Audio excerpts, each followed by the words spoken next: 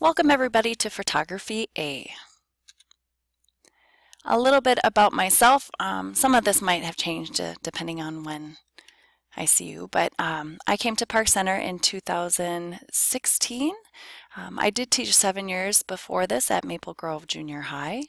I do have a BA degree from the University of Minnesota Duluth in art education, and I do have a master's degree in art education from the Twin Cities, University of Twin Cities.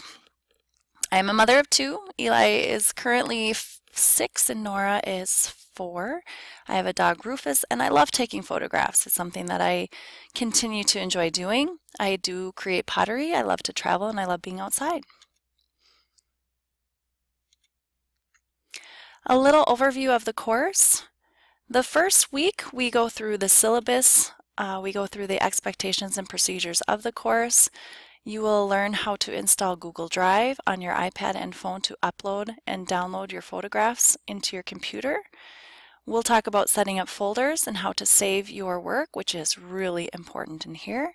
And you'll also be putting a selfie in Schoology so I can start getting to know your face and your name much quicker. We'll end the week with the Pulitzer video and worksheet to help you understand the power of photographs. Our first unit is focusing on expressing emotions. You'll learn about the four attributes that make up great photography and we'll talk about composition and how that comes into play in photographs. You'll begin researching and brainstorming some ideas to help guide you and inspire you in your own photographs. You'll be introduced to Photoshop and learn the basic editing software, where things are and, and what you can do with Photoshop. You'll start taking photographs. You'll be editing your photographs, trying to use composition and the attributes of great photography. You'll learn how to create contact sheets and turn your work into Schoology. The second unit is portraits. This is often students' most favorite. We go through the history of portrait photography. We talk about 16 portrait tips that you can use in your photographs. For the portrait unit, you will have an arts journal that you will complete, and that's how you're going to turn all your work in. The first half of the arts journal will be focusing on learning about the SLR digital cameras, how to use portrait lighting, and your brainstorming and researching of ideas, applying the 16 portrait tips, looking up some ideas to inspire your own photographs. In the portrait unit, you'll be working with groups of four. You'll be in our back using our studio lights, our digital cameras. Uh, everyone will have a turn to be a model, a photographer, and a photographer's assistant. You will learn many, many uh, editing tips in the portrait unit.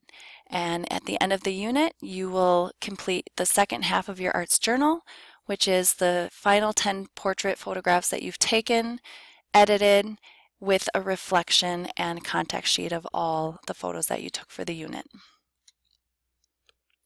The third unit is our black and white unit, so you'll learn the five tips to black and white photography as well as some guiding questions to help you evaluate the success of your photographs.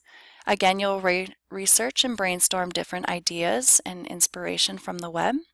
You'll be taking pictures of five categories for the black and white unit, movement, landscape, texture, portraits, and artist inspired. For the black and white unit, you'll create an Adobe Voice presentation, so it's a video portfolio. Um, it works out really well, and most of the time the black and white is a very, very strong unit. And then the last unit is our social justice unit. So we'll study and look at art that has been created for a purpose. We'll do some brainstorming and researching. You will take photographs um, and you will learn how to edit them, how to add text. Your social justice piece will be accompanied by an artist statement, and we do put these up in the hallway to, to voice our concerns and our thoughts um, to a broader audience. Finally, you will be asked to participate in different exhibition opportunities. There will be a gallery walk at the end of the trimester where you will put your favorite photograph on display for your peers to view and critique. You will be participating in peer critiques, sharing your work through different social media avenues, and sharing your work with family members and friends. The next video will go into the grading and other expectations, so come on back.